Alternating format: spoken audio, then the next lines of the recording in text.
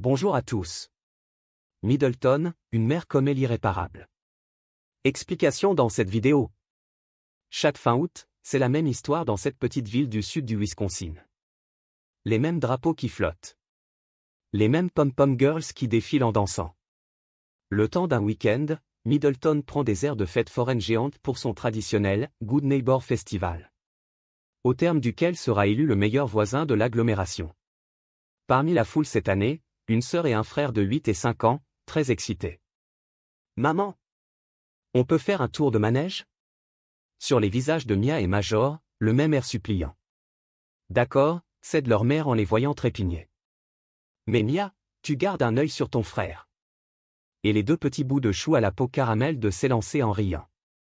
La scène est charmante, mais qu'on ne s'y trompe pas.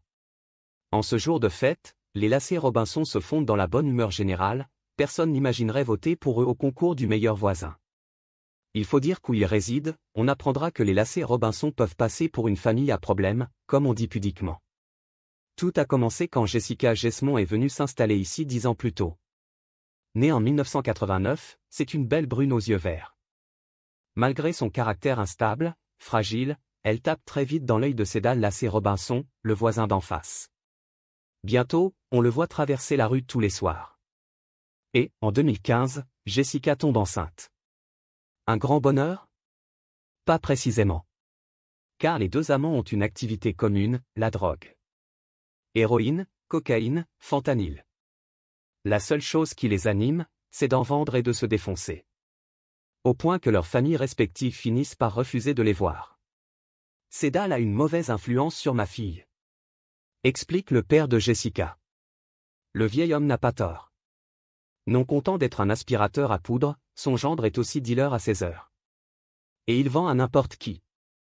En 2019, tout juste papa pour la deuxième fois, le toxicomane commet une erreur qu'il paye cash. Son client du jour, derrière ses dents gâtées, est en réalité un flic sous couverture. Pour lui avoir fourgué cette graine d'héroïne, Cédal est condamné à 4 ans de prison. Jessica se retrouve seule avec les deux petits à charge. Les premiers temps, la jeune mère en bave, mais tient bon. Pendant quelques mois, Mia et Major sont placés en famille d'accueil. Jessica en profite pour se sevrer et reprendre des études de droit. Sa meilleure amie, Shauna, est là pour la soutenir. Tu es la fille la plus forte que je connaisse. Lui répète-t-elle pour l'encourager. Alors elle s'accroche. Décidée à remettre sa vie sur de bons rails, elle se résout à quitter Cédal pour de bon. Mais depuis sa cellule, ce dernier n'entend pas se laisser faire, et réclame la garde des enfants. À sa libération, au printemps 2023, les deux examens ne se parlent plus que par avocat interposé. C'est alors que, on ne sait comment, leur relation se réchauffe. Est-ce le sourire de Major quand il voit son papa?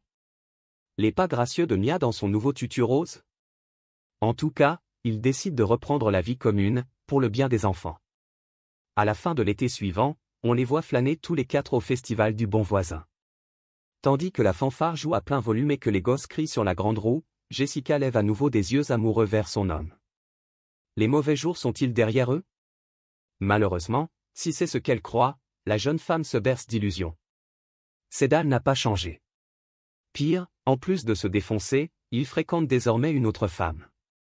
Lorsque Jessica s'en aperçoit, elle explose littéralement de rage. Si ça se trouve, dit-elle à sa copine Shauna, il est seulement revenu vers moi pour que je baisse sa pension alimentaire. Quelques semaines plus tard, Cédal épouse sa nouvelle conquête. Ivre de fureur, Jessica reprend la bataille juridique contre lui. La belle saison du festival laisse bientôt la place à un rude hiver. Middleton se couvre d'un épais tapis de neige. Mais pour les lacets Robinson, le printemps ne reviendra pas. Le dimanche 18 février dernier, il est 19h30 quand un coup de feu claque au 6303, Maywood Avenue. Une porte s'ouvre sur le blizzard. Des cris s'élèvent. Les voisins s'inquiètent. Que se passe-t-il? Shauna, qui habite un peu plus loin, court à sa fenêtre. Jessica était chez elle le matin même, et elle sait que Cédal devait venir prendre les petits pour son tour de garde. Qu'a-t-il encore fait?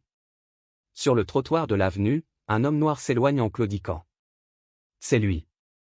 Mais soudain, il s'écroule en se tenant le côté.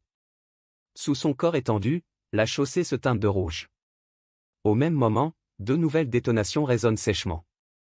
Puis une dernière. Et le silence retombe, glaçant. Au 6303, Maywood Avenue, le téléphone de Jessica sonne dans le vide. Les pompiers arrivent quelques minutes plus tard, et commencent par prendre en charge Cédal, grièvement blessé. Puis ils s'approchent de la porte de Jessica et glissent une caméra en dessous, pour ne pas prendre trop de risques. Les images d'horreur révèlent vite ce que personne n'avait vu venir. La mère de famille vient d'abattre ses deux enfants, avant de retourner l'arme contre elle. Tout le monde est mort. Dans ce conflit familial, on croyait qu'il y avait d'un côté la mère courage, de l'autre l'ex-drogué, imprévisible et dangereux. On se trompait dans le casting. Car au final, c'est elle qui aura connu l'irréparable et privé ses gamins d'un avenir. Le danger ne vient pas toujours de là où on l'attend. Aujourd'hui, alors que Cédal se remet péniblement à l'hôpital, c'est tout Middleton qui reste sous le choc de cette terrible tragédie.